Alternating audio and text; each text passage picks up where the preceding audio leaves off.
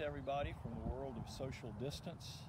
I'm going to do a brief reading from A Hard Rain, America in the 1960s. Uh, it's an episode from December of 1968 about the Apollo 8 astronauts who went to the moon and did not land but left us something priceless. It took three days to get to the moon, where the spacecraft immediately went into orbit circling the dark side, which no communication was possible. The silence lasted 34 minutes. When the module finally emerged to cheers from the NASA ground crew, the three astronauts witnessed a sight no human had ever beheld an Earthrise.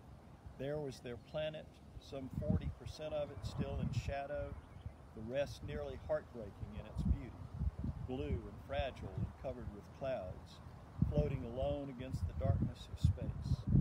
It was then that the Apollo crew began to read.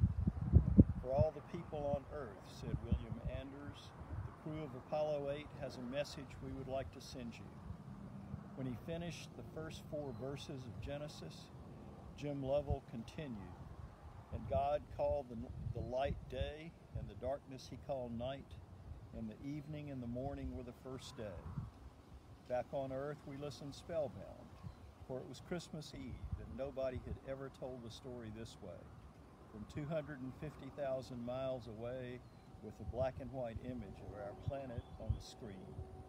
When Lovell paused, Frank Borman, the stocky crew cut commander of the mission, brought the reading to a close. And God said, Let the waters under the heaven be gathered together unto one place, and let the dry land appear so. When the mission ended after 10 lunar orbits and Apollo 8 returned safely to Earth, Madalyn Murray O'Hair, founder of a group called American Atheists, sued the U.S. government for violating her First Amendment rights. In effect, she said these Bible reading astronauts, as representatives of the state, had established an official religion for the country. The Supreme Court dismissed her suit. Most of us could not have cared less, for we were still in awe, transfixed now by a color photograph taken by Anders, far more dramatic than the black and white image on TV. Galen Rowell, a young Californian who soon became an award winning National Geographic photographer, called Earthrise the most influential environmental photograph ever taken. What Rowell understood was that the photo became the ultimate illustration of a new force in America, a rising environmental consciousness that was on its way to becoming a movement. In 1968, much of it was cultural, reflected, for example, in the writings of poets like Wendell Berry, a Kentuckian who worked a family farm while publishing novels, essays, and poetry.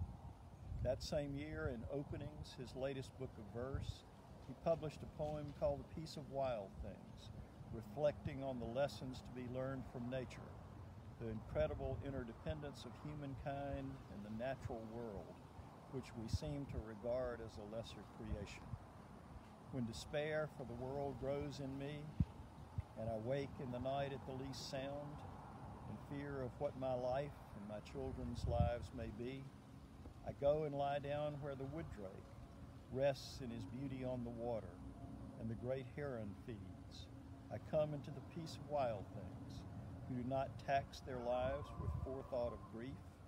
I come into the presence of still water, and I feel above me the day-blind stars waiting with their light. For a time, I rest in the grace of the world and am free. And the cameo appearance, by the way, was Sam, who lives next door. We were happy to have him play a little role. All right, stay safe, everybody.